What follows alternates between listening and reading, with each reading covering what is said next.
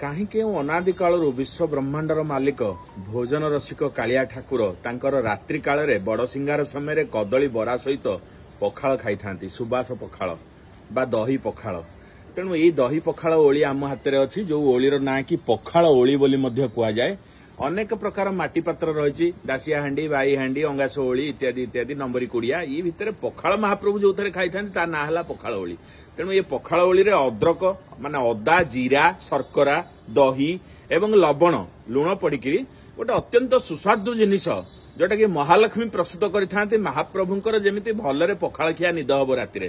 ତେଣୁ ଏ ପଖାଳ ସେବନ କରିଥାନ୍ତି ସେଇ ପଖାଳ ବିଶ୍ୱ ବ୍ରହ୍ମାଣ୍ଡ ମାଲିକ କୋଟି ଓଡିଆର ମୌଡମଣି ହେଇକିରି ଓଡିଆ ମାନଙ୍କର ଖାଦ୍ୟକୁ ନିଜେ ଅଙ୍ଗୀକାର କରୁଛନ୍ତି।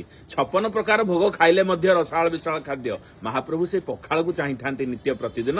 ଆଜି ବିଶ୍ୱ ପଖାଳ ଦିବସରେ ମହାପ୍ରଭୁ ଏମିତି ପଖାଳ ଖାଇକିରି ଓଡିଆ ମାନଙ୍କ ପ୍ରତି ଏମିତି କୃପା କରିକିରି ଅମୃତ ନେତ୍ରରେ ଚାହିଁଥାନ୍ତୁ। ଏତିକି ତାଙ୍କ ପାଦ ପଦ୍ମରେ ଆମର କାମନା।